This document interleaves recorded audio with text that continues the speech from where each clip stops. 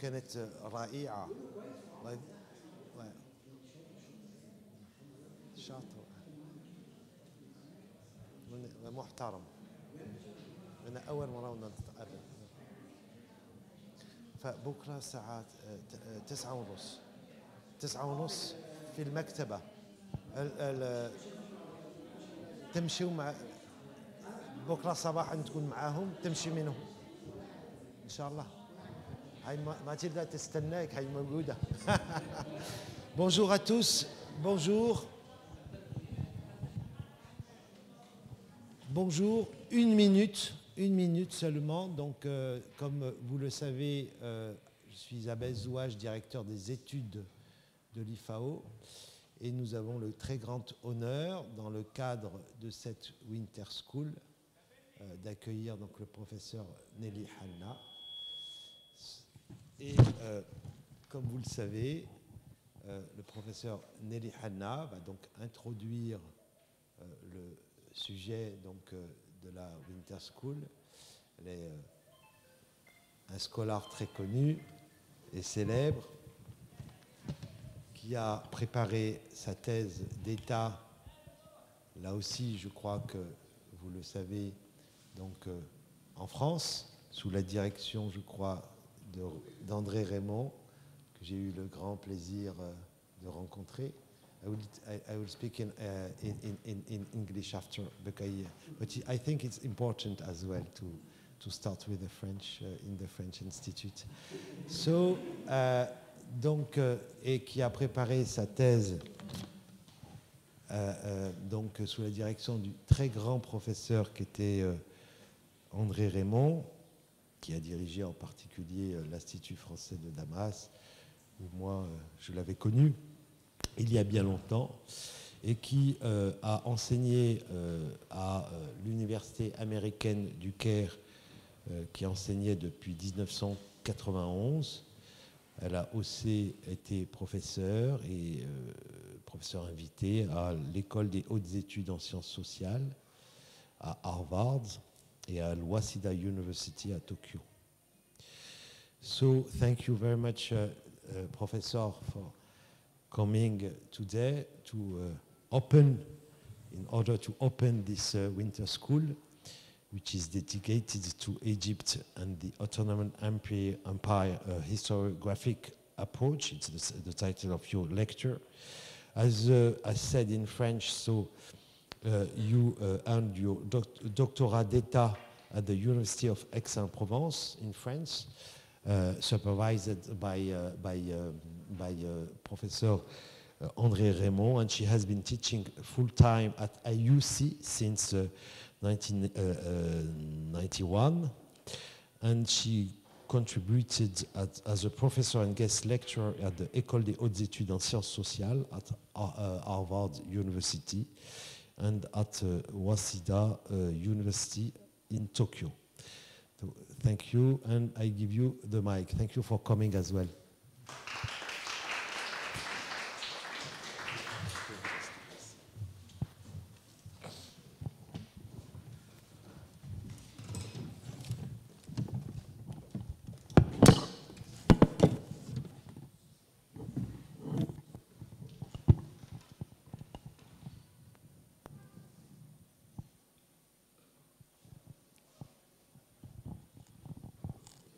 Working now?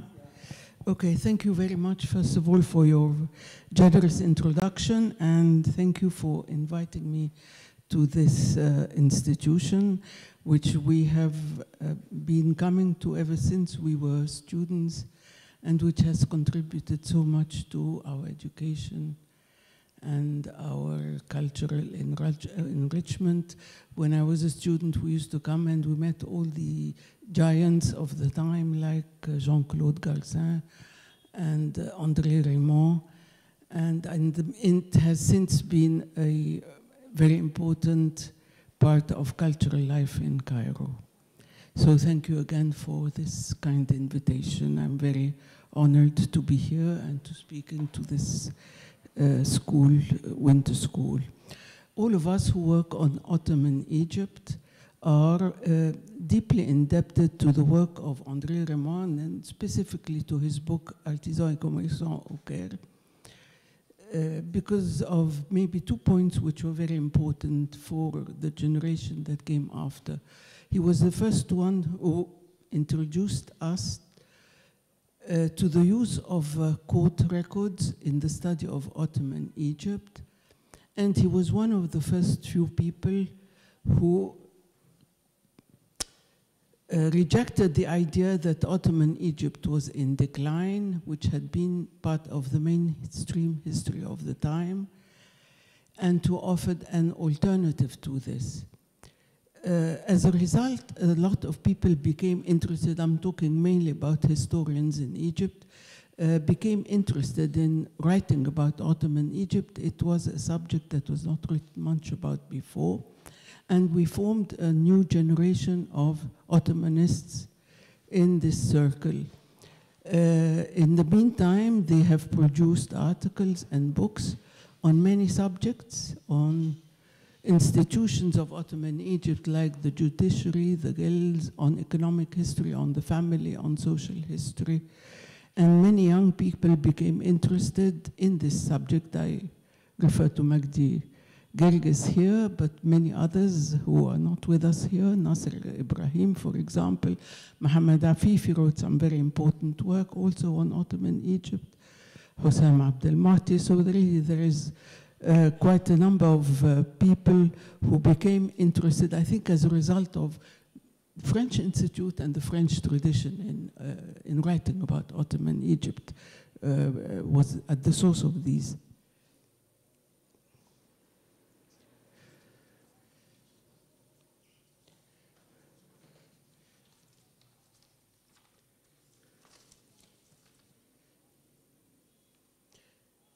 in, uh, in short, what we had by the, you know, 10, 20 years subsequent uh, to, to this movement, uh, uh, a good knowledge about Ottoman Egypt, which we had not had before. The subject I want to talk about today, I'm not very comfortable standing, so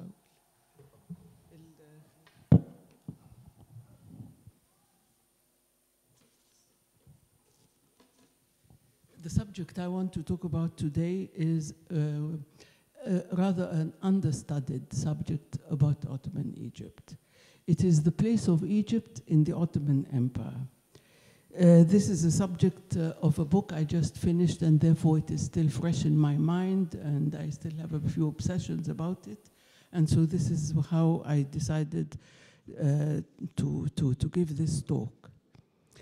Uh, it is a subject, I think, which is very important, given the fact we know a lot about Ottoman Egypt now as a result of the many studies that came up, and given the fact that even in Ottoman studies there has been such a surge of scholarship, enormous scholarship, on the Ottoman world, on the Ottoman Empire as a whole, in its parts, in its whole, in its military. So many, many, many subjects have been written which are easy to find on any internet link, many internet links.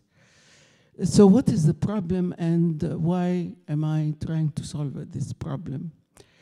Uh, uh, the conquest of 1517 uh, was a very important event for Egypt. It ended the Mamluk Empire, which had dominated the Islamic world for three centuries. It turned Egypt from the center of this empire, the center of the Islamic world, into a province. So it was a, it's a big change. Uh, many of the Mamluks were massacred. So anyway, as far as Ibn Iyas tells us, uh, they were really brought down to their feet uh, within a few years after the conquest. This is as far as Egypt is concerned. Uh, for the Ottoman Empire, the conquest of Egypt also was a very important event. In fact, it was a transformative event. It transformed the Ottoman Empire in more than one way, uh, uh, especially that it was followed by, after the conquest of Egypt, Syria, it was followed by the conquest of almost the whole of the Arab-speaking world, uh, Yemen, uh, Tunis, etc.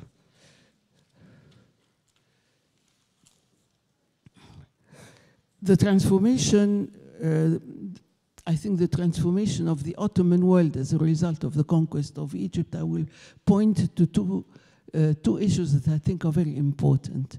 The conquest of the Arab world, of the Arab uh, speaking lands, I should say, uh, brought about, firstly, uh, it, it changed the Ottoman Empire from a majority non Muslim population to a majority Muslim population. This is very important for many reasons. Uh, number one, the ideology of what is, an, what is a legitimate ruler changed. Uh, I refer to the work of uh, Snjezana Buzov, who worked on the Qanun Name of Egypt, and she analyzes in detail the way that the, the Sultan is addressed with new a new vocabulary related to the uh, new religious identity. Uh, another element that confirms this is the fact that soon after, a few, a few years later, the creation of a post of Grand Mufti was created. And the Grand Mufti of the empire, of whom uh, Sheikh Abu Saud is the most important one in the 16th century, uh, was the person who uh, it's not like a mufti in the general sense we use today. He was an official mufti in the sense that all the laws that were issued by the Sultan had to pass by the, the Grand Mufti to make sure they did not violate the Sharia. So this, all this is part of a change uh, as the empire moves from a non-majority Muslim empire to a majority Muslim empire. Another very important change, transformation as a result of the conquest of uh, Egypt and Syria, um, uh, uh, uh is a, a, commercial change. Uh, in 1500, at the time of the conquest, yani, when the Ottomans conquer Egypt, there is in Istanbul, Istanbul is probably the most, the only important international port in the empire.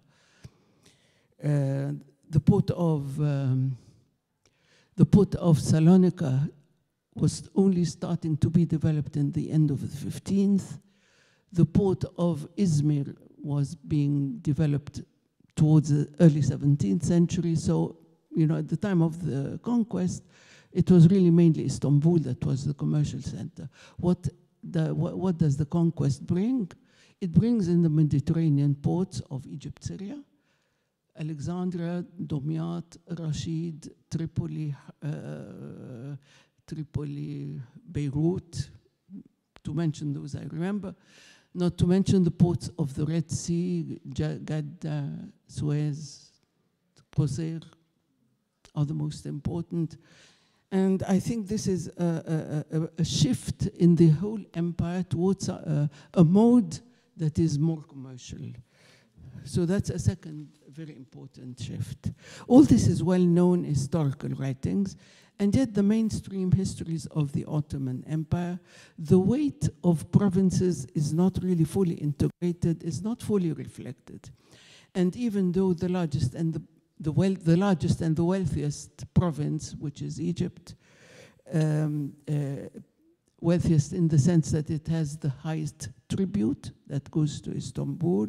It has the enormous amount of grain that goes to Istanbul and to the holy cities. Uh, it, uh, it has the baroud or the gunpowder with which the Ottomans continued their expansion. In spite of all these things, the weight of Egypt is not reflected in the mainstream histories of the empire. So why is this the case? Um, of course, to a certain extent, Eastern Europe is better reflected in Ottoman histories, but the Arab lands, not so much. Uh, maybe for ideological reasons, I'm not very sure. Uh, but I think what, what concerns us here is, uh, I think this is a historiographic problem. It is a historiographic problem in the sense that it's a problem to write about empire anywhere. And most writings of empires, I'm talking about the Mughal Empire, the British Empire, the French Empire, the Dutch Empire, the Spanish Empire, I've looked into all of these. Uh, the same trend exists. Either you're writing about a history of the province or you're writing a history of the capital. It's very difficult to write a history of the two. Um, uh, of course, one of the main reasons that this happens is that um, if we take uh, the Ottoman Empire, Istanbul is where the, so the Sultan is residing. It is where the orders are issued. It is where the administration is located.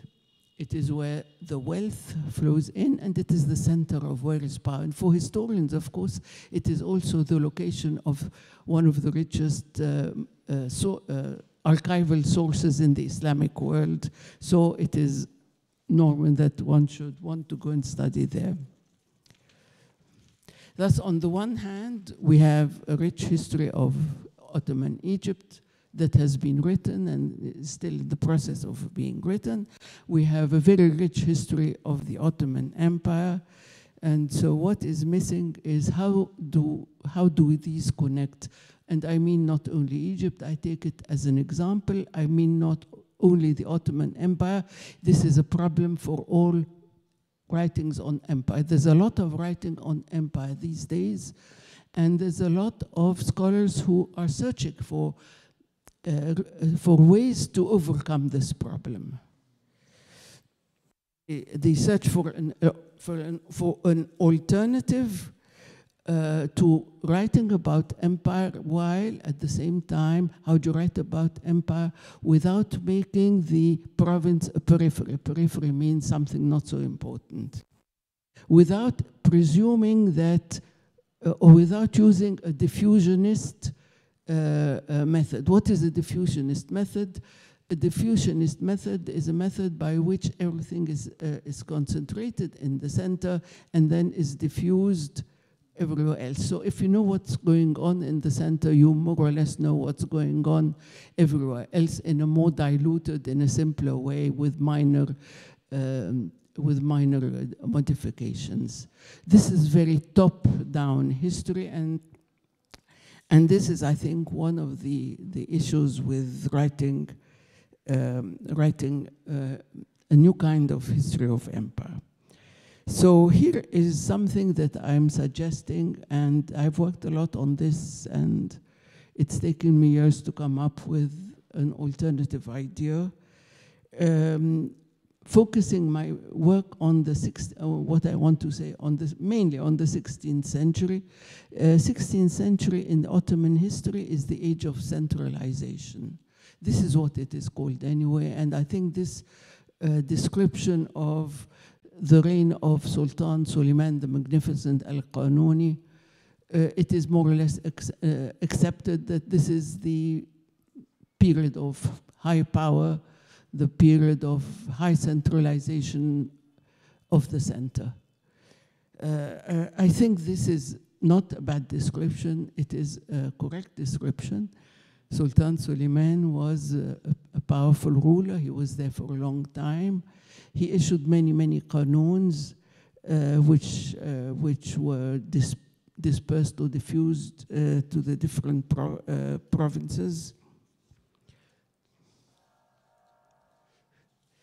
He issued land reforms, and his land reforms were supposed to be applied everywhere. There were surveys, it's a period of land surveys. The land surveys were very important. Every time a new territory was conquered, a new land survey was uh, undertaken. Uh, there are web surveys, and these were taken in many, many places, and they were redone several times. In the mid-century, there are records of land surveys and uh, surveys of uh, land waqf in, I don't know, the, I mean, some of the documents are in Istanbul, and sometimes we don't have the documents, but there are references almost everywhere in the empire. So it is a major undertaking. It could not have happened very often. It did happen in the mid, towards the middle of the 16th century, so I think we cannot reject the idea of centralization. But the idea of centralization needs to be a little bit redefined it needs to be redefined um,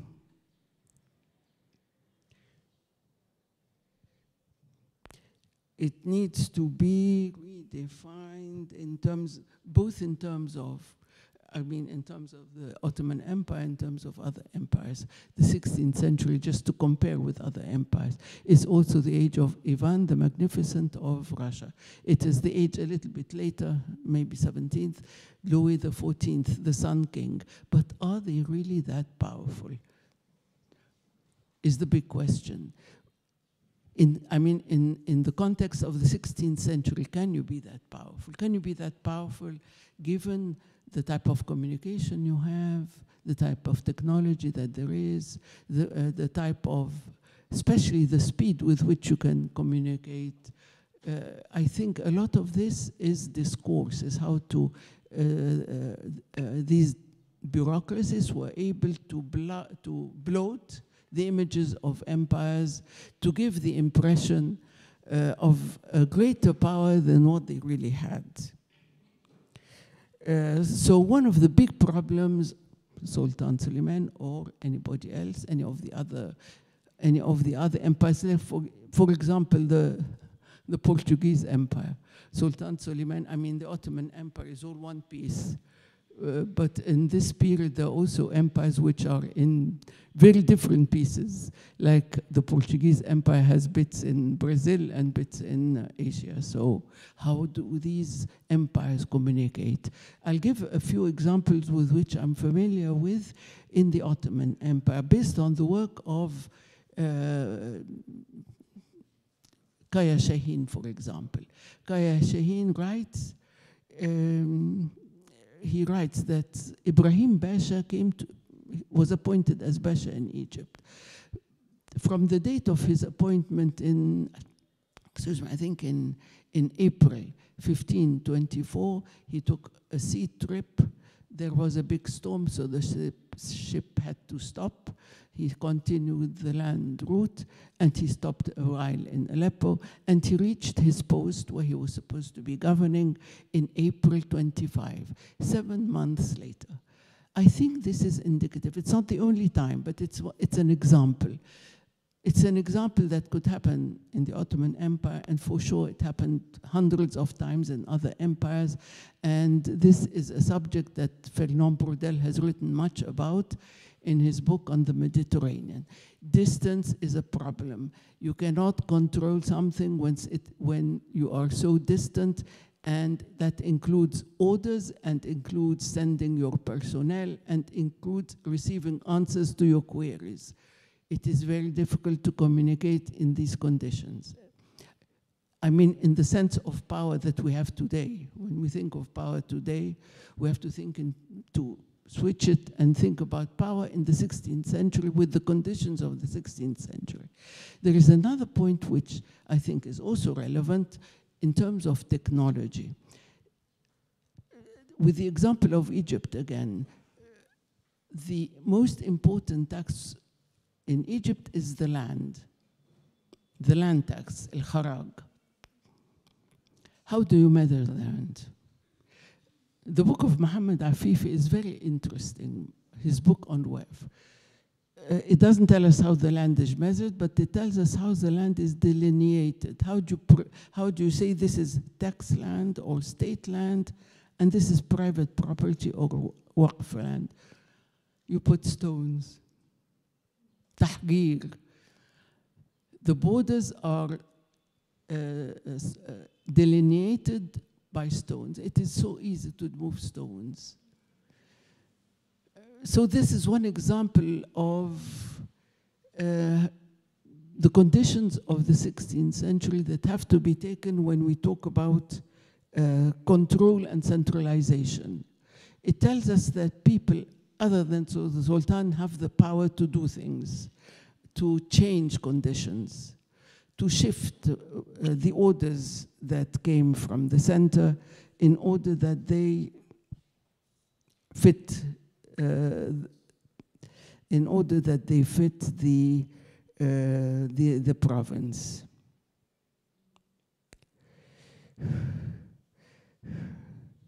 Okay, to go back to the question of how do you write a history of the empire and of the province in one, narrate it in one story, make it one, uh, one historical development.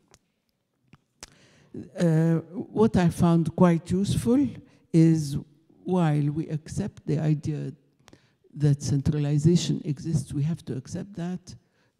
After all, the empire survived, you know, for, for six centuries, so it must have been successful in doing that. But what is interesting is to see the other side too. And what I found to be useful is a paradigm that does not include centralizing, but that also adds to it decentralizing. So that at any point, there are forces of centralization. There's a powerful force. And there are forces of decentral, decentering. I don't want to say decentralization. It's really decentering because decentralization has other meanings. Decentralization means people are looking to overturn the government or to protest. No, this is not what I mean. I mean two forces that are existing at the same time that have to confront each other in a continuous way and that have a high degree of uh, change. I mean, the, the, the balance between centering and decentering can change at any point, at any time, depending on the context. So in other words, it is, it's a, it is a continually changing process. It is not a phase. Uh, uh, very often in Ottoman mainstream histories, we see phases, phases of centralization. I mean, you know, in the Cambridge histories, for example. Centralization followed by decentralization, followed by reforms. Uh, very often it takes its form. I'm not talking about stages. I'm talking about a continuous process, a, a process continually being uh, in action.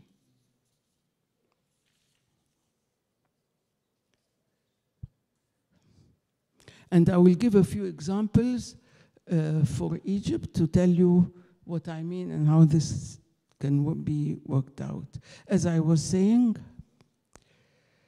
the most important element of the yearly tribute that Egypt had to pay to Istanbul was the land tax. By far, by far the most important. It was also the most difficult to collect. From the very beginning, the, as soon as the Ottomans come, the first thing that they need to find out in order to get this tribute is to find information about the land. Where is the, for example, where are the registers? When does the when does the peasant pay? I mean, there are seasons. You know, land is seasons. There's some harvest at different times. Uh, who collects them?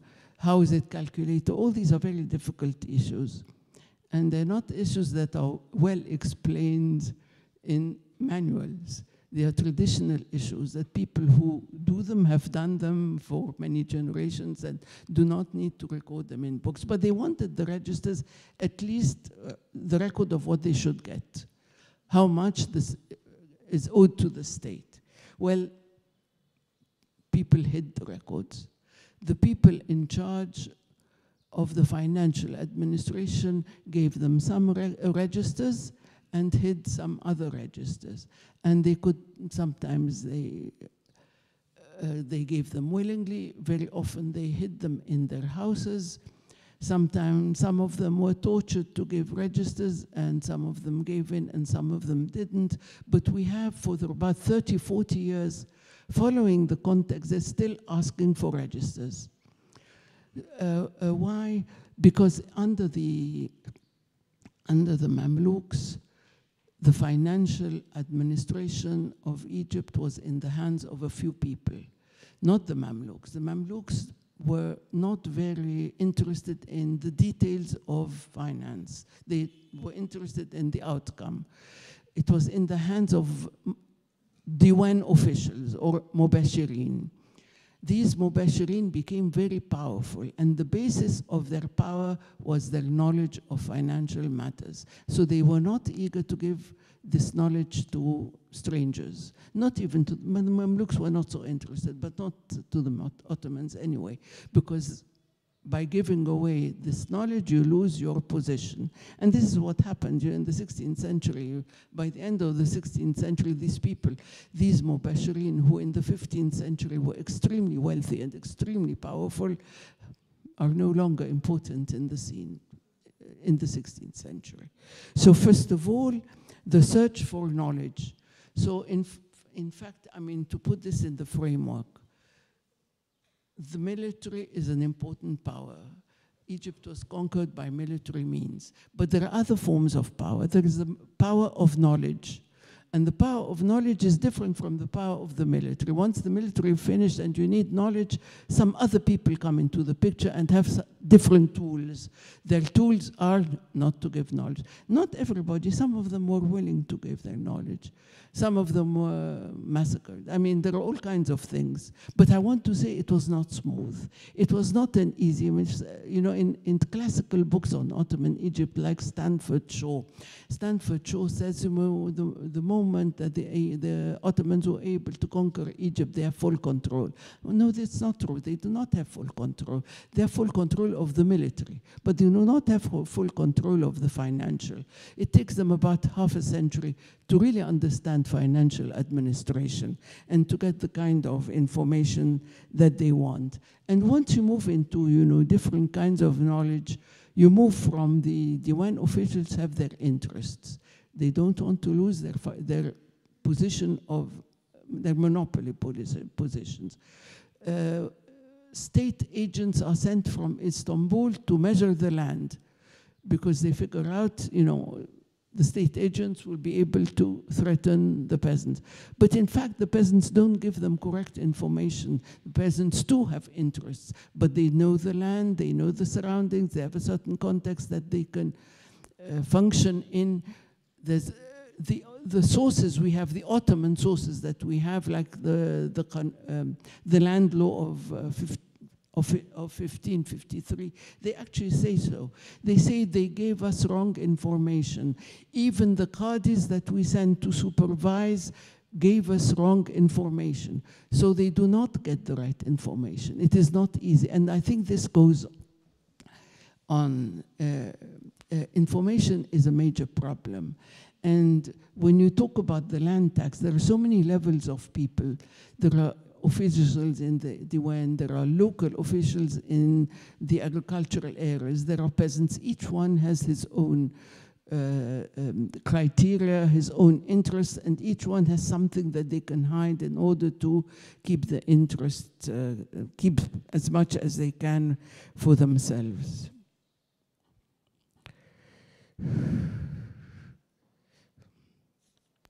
So all this works uh, as decenter decentering uh, forces. Um, uh, perhaps one last point in relation to this issue of land. The Ottoman structure, administrative structure of Egypt was made up of a Basha who governed, a Qadi who in, charge, in charge of the judiciary, and a Daftardar in charge of financial matters immediately after the conquest, an Ottoman Daftardar came to see what he could do. He obviously, we don't know much about them because we don't have the sources, but everything that we do know indicates they were not able to do their work properly. So you had one after another, one after another, one stays two months, one stays one year, one stays a few days, and then um, uh, and then leaves with no big results or no big change as far as our sources are concerned. And then in the course of a while, uh, the Ottomans employ an, a person from Awlad al-Nas to become Daftardar. Who is Awlad al-Nas? Awlad al-Nas are the descendants of the Mamluks. Awlad al-Nas uh, is Awlad we say Ibn al-Nas, we don't say Ibn al-Nas, a singular Awlad al-Nas is a person whose father was, a mem was purchased, was a Mamluk. So we find uh, as of 1526, after there have been many Ottoman Daftardars come and go, come and go, come and go, they appoint someone called Janim, el-Amir Janim al-Hamzawi, who, who came with Khair Bey from Aleppo and who is referred to as Awlad al-Nas. And he is Daftardar for uh, until he's killed in, uh, in, uh, in 1536. And then comes uh, uh, again a period of quick changes of, is of Daftardars from Istanbul. And then again another Mamluk Emir called Ibrahim Bey Daftardar, whose father was governor of Alexandria, is appointed Daftardar. So why is this significant? It is significant. These people did not try to overthrow the government or did not try to kill the, the, the Bash or anything like this. There's no political, no political conflict. But these people are in charge of the financial, uh, uh, they are of the financial office of Egypt, in charge of the tribute. It's a very important position, in charge of the tribute of the most and richest state. But they also have their own interests. They also get rich themselves. They also help other Mamluks stand on their feet. And so there is double interest. There is a dual, a dual uh, facet to their person. And this, of course, is also, I mean, they serve the empire, they, they offer important services to the empire because uh, after Janib al-Hamzawi is appointed, it's only after he's appointed that the, uh, the tribute is regular. We don't know how complete it is, but every year it is sent, uh, as we know from Istanbul archives. Uh, so you have this sort of in between. They serve, yes, they serve one side, but they also serve another side. And therefore, I consider this too is a kind of uh, decentering force. All this happens in the formative years following the conquest, the years in which the financial policies were put together. Uh, it is very, we don't, I mean, there are no specific references to this, but we can suppose uh, that they, maybe Janib and Hamzawi had something to say to determine the amount of the tribute. Why not? He was very powerful at the time. He went to Istanbul at the time that the Qanun Name was being uh, formulated. So was it a Mamluk who advised them how much tribute Egypt should pay? Maybe. Why not? Uh, other policies that were formed at the time. Uh, the Qanun for example, mentions, this is the work of um, uh, Wakako Kumakura, who has worked on some very important records. Uh, she has worked on the Qanun to show that the number of times it refers to Qanun Qaid uh, which of course does not exist. There's no such thing as Qanun Qaid But somebody told them there is Qanun Qaid which says this and this and this. We have no evidence whatsoever in any of the Mamluk sources that Qanun Qaid made, uh, that Qaid made the Qanun. He did not make a Qanun. In fact, he had many different laws and he often had very contradictory laws or regulations.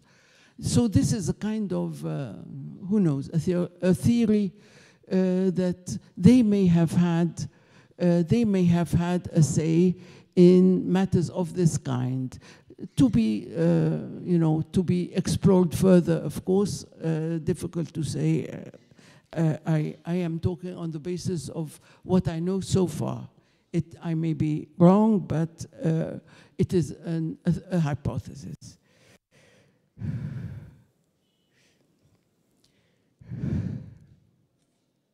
Okay. In, in conclusion,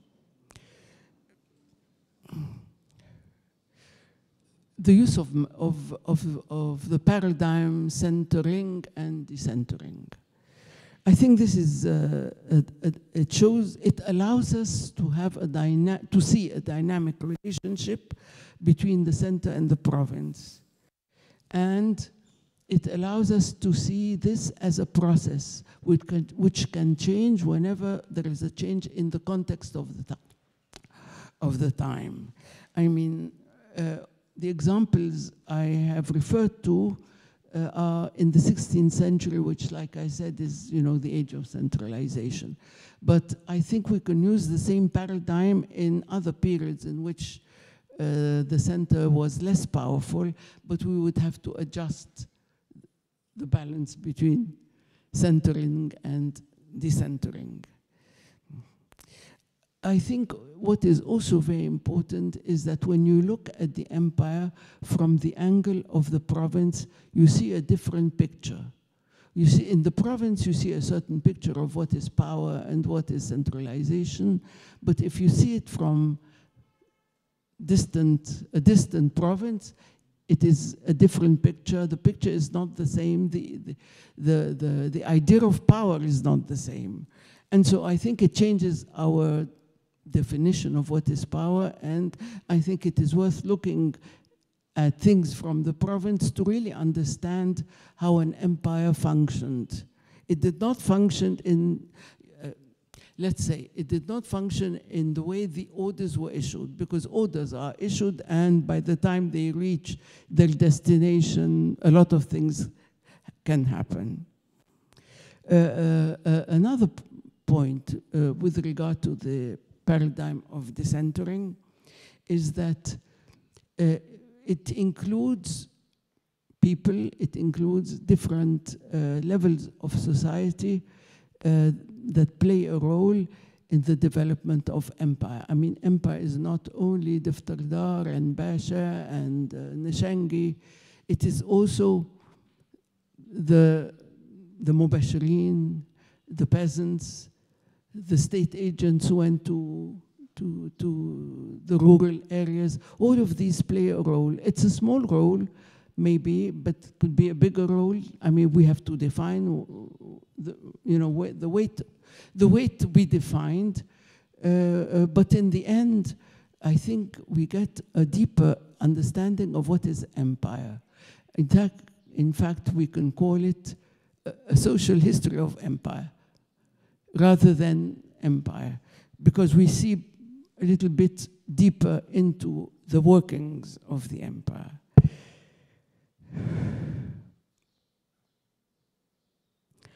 I think I've said, I've said it all. Um, just to add that this uh, paradigm can be applied to periods when the empire was not so powerful, so we would give a bigger role to decentering uh, and it can be applied to other empires with different conditions. And thank you very much for listening.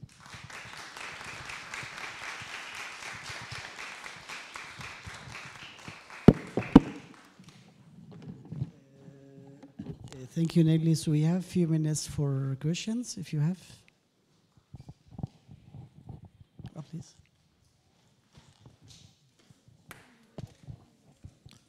Uh, hello, Professor, again. I'm always talking, sorry. Uh, I found something in Ottoman archive in Istanbul. In 1733, uh, the Yusuf Bey is Memluk. Uh, it's starting as a Ruznamche in Egypt. And 1739, he became a Defterdar. And his job is going to 11 years. Uh, it's finished in the 1750. Uh, After that times, Ottoman uh, Egypt governor never sent again in Istanbul to, to, to his tribute by year by. To tribute, yeah, irsaliye revenue. Never sent again by year by. Yes, in normal times, every year is Egypt sent to his irsaliye revenue. But after the uh, Yusuf Bey, uh, never sent again every year.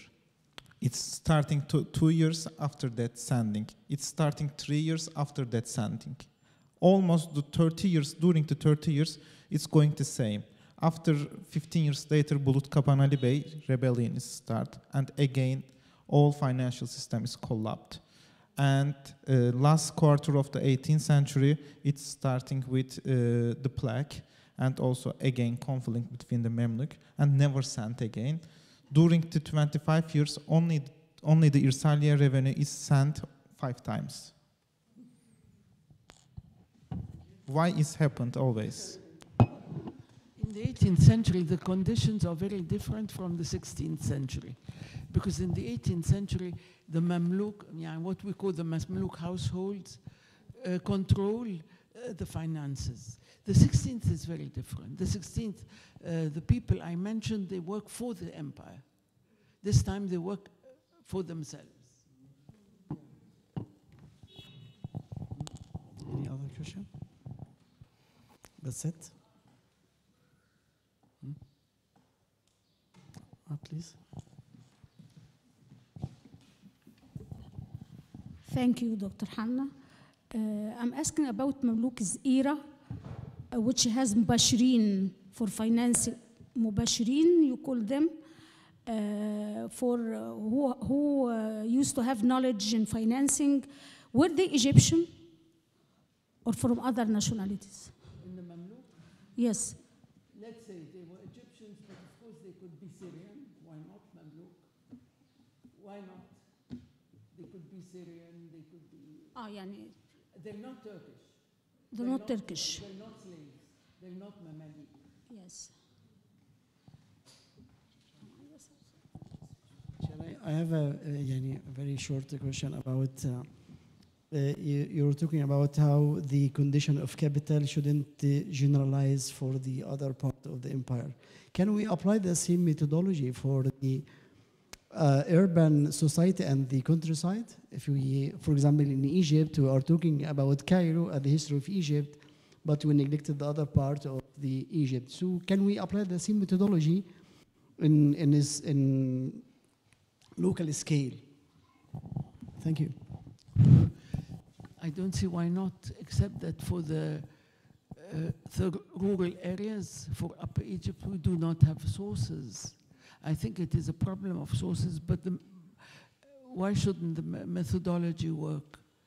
Uh, I mean, for the 16th century, we do not have sources. Maybe for the 19th century, there are sources, and you can apply the same methodology. You have a government that is powerful. If you talk about the 19th century, it can send its agents. The technology is more improved The, the education is, you know, more spread out. So you have to take this into consideration, but still the peasant can do many things. Yeah, and the peasant can uh, burn the the ه- المحاصيل يعني مثلا.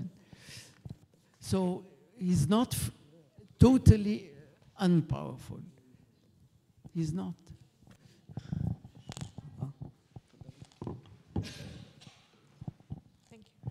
Um, I have a question about not obeying firmans or orders coming from the the center of the empire.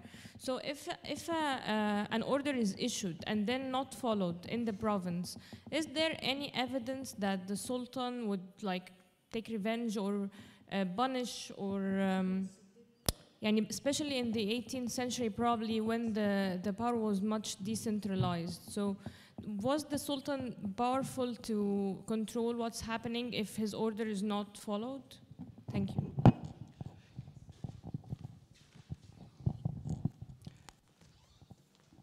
I think it is a bit biased to write a history on the basis of orders. You cannot write a really history if you just write on orders. Orders are usually not obeyed, maybe not obeyed completely, maybe obeyed according to the interpretation that somebody else gives them. Orders, uh, uh, if you follow an order, for example, I can give you yani, from uh, you, uh, um, after the conquest of uh, Hungary, in Hungary there were uh, 1541. In Hungary there were many land regimes, land, private land, land by emirs, land, many private uh, forms of land. And so they decided, uh, the Sultan or the Nishangi or, sub, or the authorities, to unify, okay? They unified with the help of Sheikh uh, Abu Saud to make it legal, and the order was sent in many countries, surveys in many countries. The new land law of the Ottoman, of the Ottoman state, was it followed in Egypt? Why was it not followed in Egypt? Because they found a category of land that does not exist in Istanbul. Its land is called Al-Rizaq Al-Ihbasiyya.